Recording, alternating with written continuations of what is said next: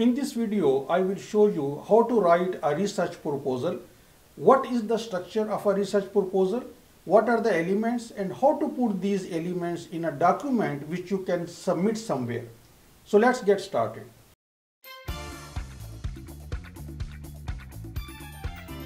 Hello, my name is Tahir and welcome to my channel. If this is your first time, please hit the subscribe button and also the notification bell to get notified whenever I post a brand new video on this YouTube channel every Tuesday and Friday.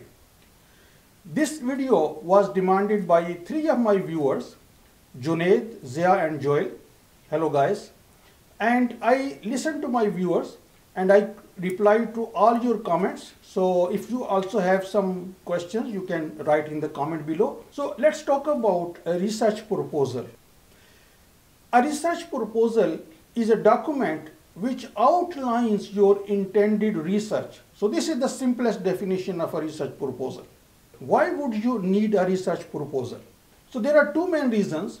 One is that this is part of your PhD admission application. And the second is that you have PhD, you are working as a lecturer or as a professor somewhere and you want to apply for funding. So in both these situations, the structure of the research proposal will stay roughly the same.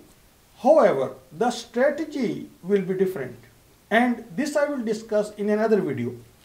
Because in this video, we are only going to discuss the structure of a research proposal. Although some universities try to assist students by giving them a template or a set of questions so that they can answer those questions and in this way they make their research proposal. But these are some of the elements which are globally accepted as part of a research proposal. So the title of course a research proposal uh, has a title then there is the problem statement. Then you have to prove that the research you are intending to do is significant. I will explain how you can do that. Then you also need to prove that this research or this project is achievable. Then the committee, the review committee or the admission committee wants to see that you have the passion and the motivation.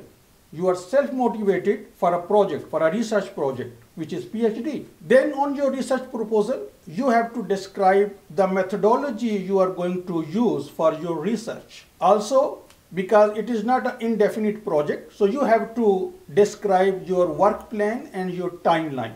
And you also have to prove that you know what you are talking about. So let's say, assume a situation in which you don't know anything about a specific research area and you go somewhere and you say, okay, I'm going to do this. And maybe 100 people already have done that. Then the only thing you can get out of it is embarrassment. So how to avoid that?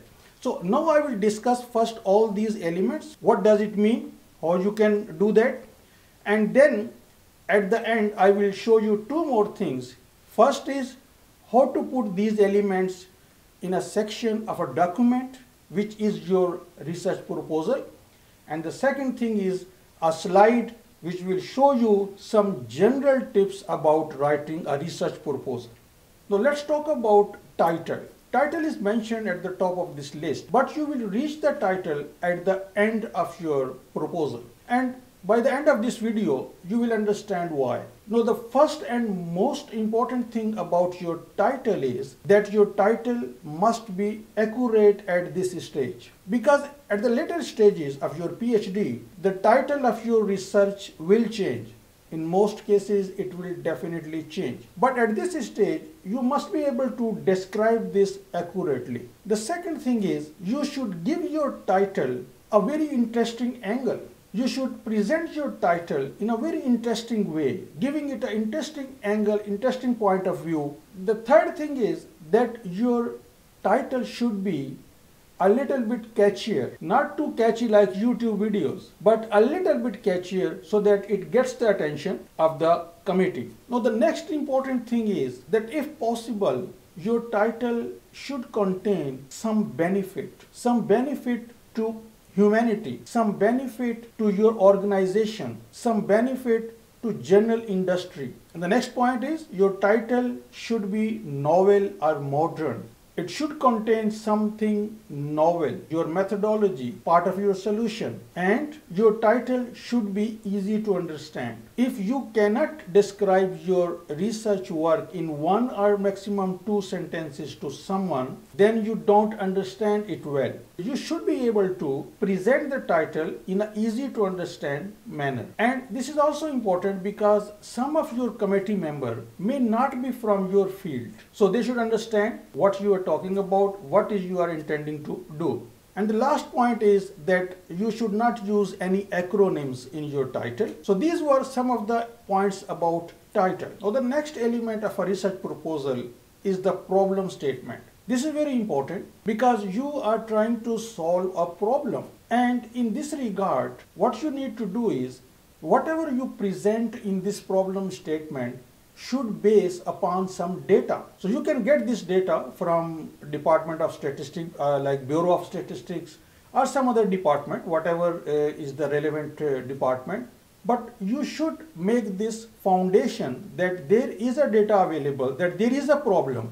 So you should consider four important things about problem statement. Number one, your problem statement must have a question, a problem, what is the problem which you are addressing in your research. And the second important thing is all the negative points of the current situation. What are the negative points? Why there is a gap in the research? What are the problems due to this gap? So these are all negative points. So these you will mention in your problem statement. And the third very important thing which you must mention in your problem statement is that why does it matter? Why it is important to solve this problem? What are the benefits and what is the size of the benefit? Again, some data if possible. So this is the third very important element. And the last very important element is that your problem statement must not contain any solution. This is problem statement after all. Now the third element is significant. How you will prove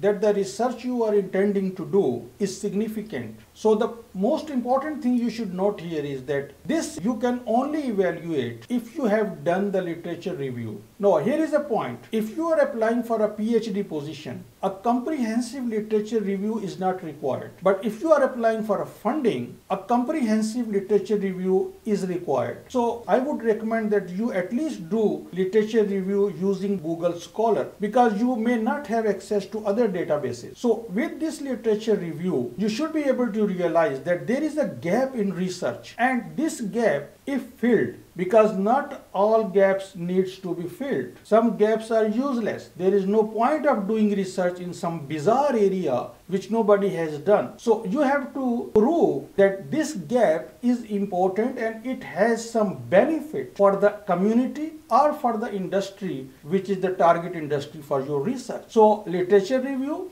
will give you information about a research gap and then you have to prove that this gap is important to be filled. The third thing you can do here to prove that your research will be significant is by showing that your method or your approach is a novel approach and this novel approach has certain advantages maybe for environment or for anything. It depends on your field.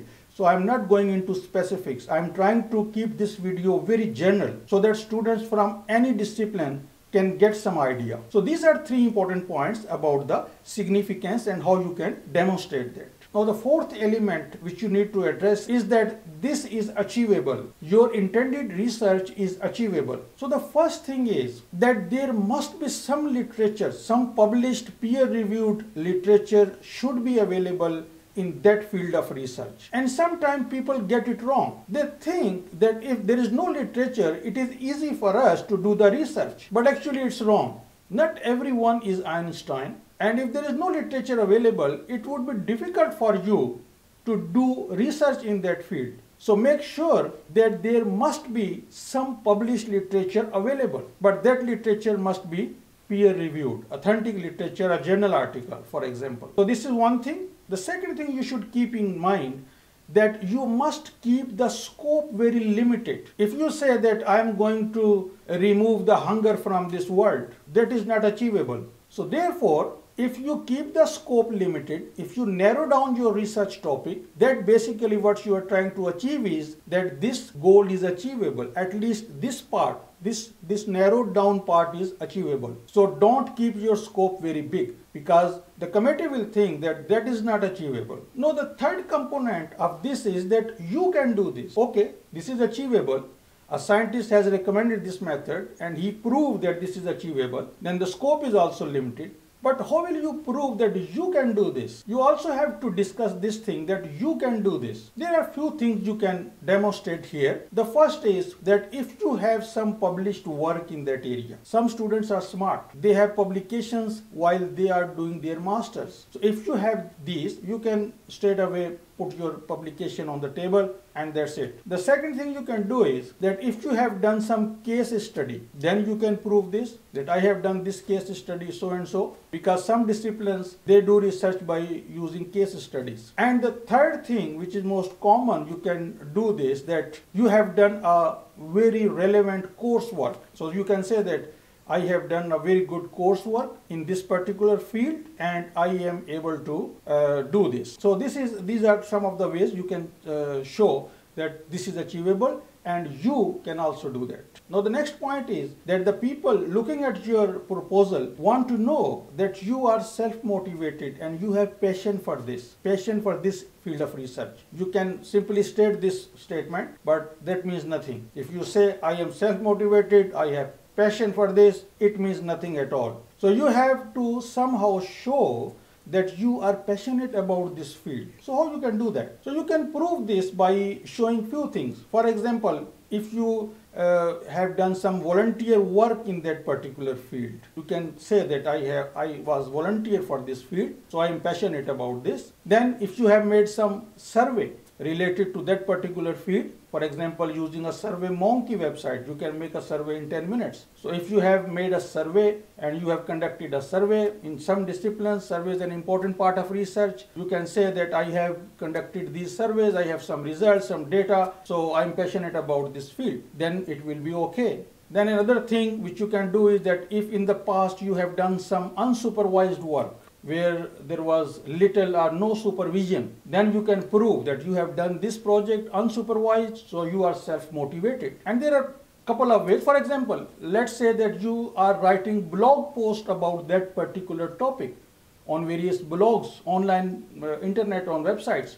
You can say that I have been writing on this topic for, let's say, two years. So this will prove that you are passionate about this topic. Now the element number six is that you have to show the methodology. What theory or paradigm you are going to use for this research. Whether you will be using quantitative methods or qualitative methods. If you are an engineering student, you will be doing some experiments. If you are a medical student, you will be doing some case studies. If you are from a marketing department, you might be doing some surveys. So these are the things you should be mentioning in this portion. Now the next point is about timeline and work plan. So it's obvious you have to give a timeline and uh, I would recommend that you make this proposal in LaTeX and uh, you can also make a timeline, a beautiful timeline in LaTeX as well.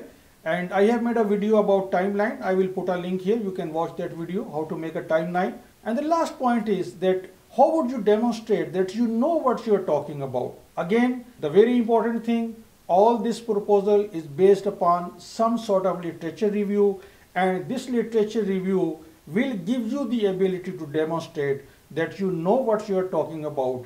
And when you will put your references in the bibliography and if those references are of top researchers or good uh, journal articles so it will demonstrate that actually you have done a proper research about this and you know what you are talking about so this slide shows you some of the general tips about writing a research proposal. Now this is the last slide and here I have mentioned you what element you should put in which section of the actual document which you will prepare as your research proposal. So this diagram is self-explanatory and uh, there are no hard and fast rules.